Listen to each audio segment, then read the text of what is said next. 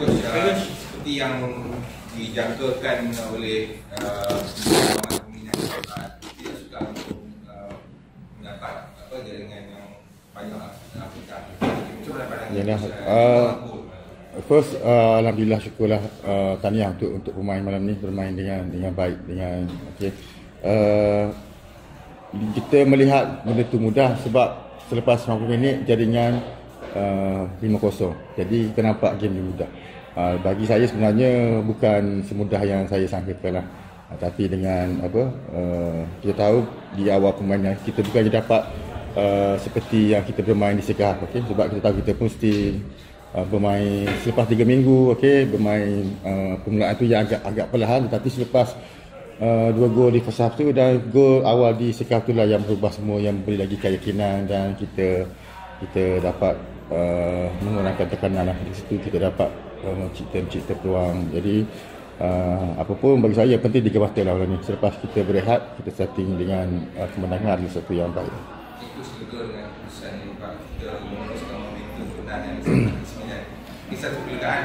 Yalah, uh, of course lah mana-mana coach uh, coach setiap game apa itu adalah adalah apa dia punya apa ibadat telur di tanduk.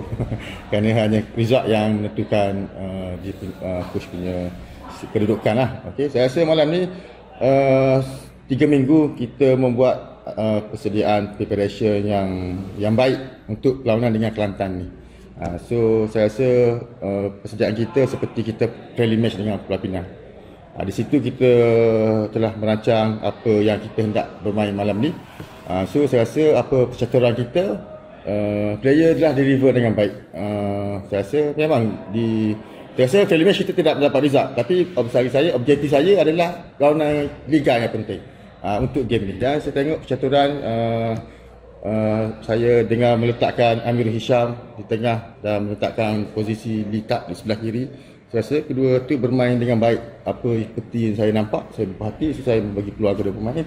Saya rasa dan overall semua pemain yang masuk sekahaf saya rasa untuk first game ni uh, saya rasa saya amat uh, berhati lah Mungkin ada pembaharuan yang bawa dalam perlawanan kali ini yang berdasarkan Amir Beck di sedikit ke Yalah, uh, di situlah. Di situ uh, kita that's why uh, sebelum ni dengan Penang Fan Match kita telah mencuba kombinasi dan beberapa posisi uh, untuk mengetahui adakah kita rasa sesuai ataupun tidak. Uh, dan situ kita nampak walaupun result kita tidak berapa baik tapi persembahan player meyakinkan saya dan memberi keyakinan untuk perancangan untuk game malam ni dan tanggungjawab pemain uh, apa memberikan satu deliver yang tugas yang baik dan untuk menangkan malam ni dan saya rasa uh, saya patut ialah berperhatilah dengan persembahan daripada pemain dan dan perlu perancangan yang barulah untuk difikirkan dengan bertemu dengan Selangor uh, di away nanti game yang sukar. Coach lima, lima jaringan tapi uh, banyak juga peluang yang disisikan.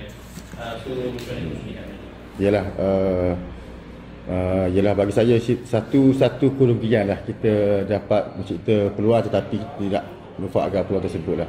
Uh, saya rasa uh, dengan game macam ni dengan peluang yang kita ada di sinilah kita untuk menambahkan jaringan lah. Apa yang yang saya penting saya gembira sebab saya rasa overall semua semua pemain mencipta jaringan lah Lira uh, Balotelli, Litak dan Hidalgo dan uh, Menito semua dia mendapat di situ keyakinan di itu akan bertambah.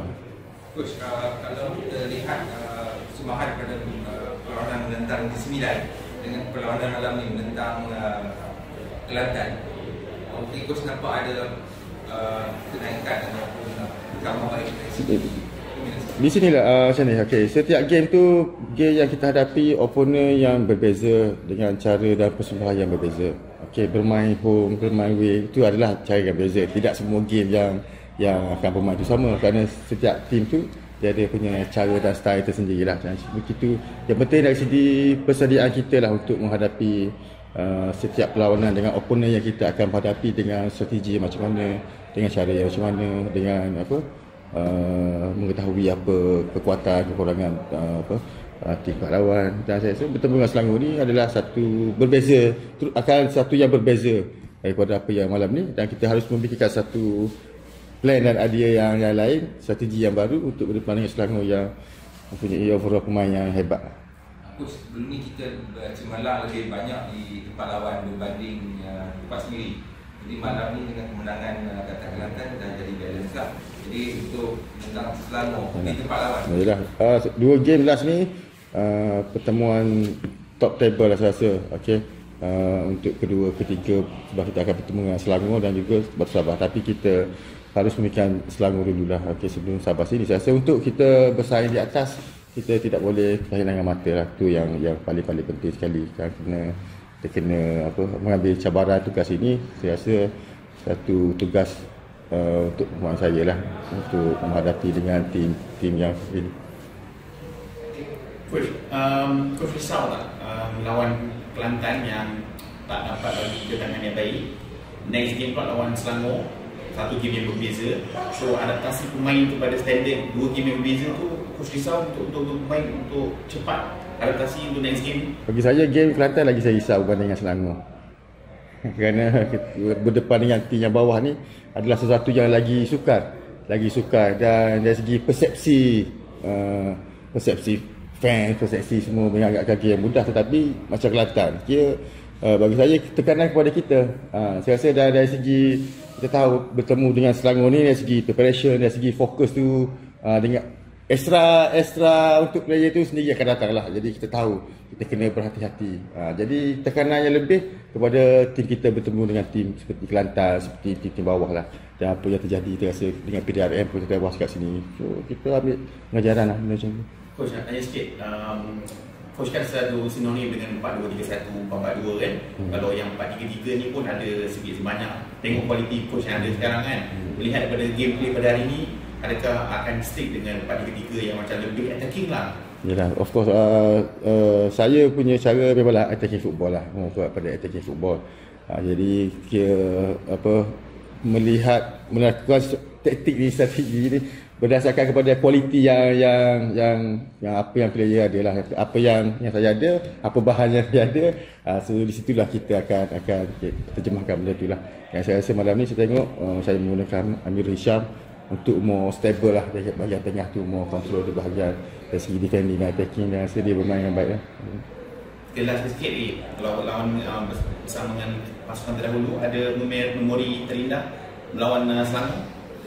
Uh, saya rasa apa sejarah yang lepas kita dapat membantu next game hanya hanya apa uh, apa yang di apa yang saya ada sekarang ni di mana saya berada sekarang itulah yang akan membuka sejarah baru untuk saya lah. Harap sejarah akan terjadi macam sebelum-sebelum ni lah bertemu Selangor insyaAllah.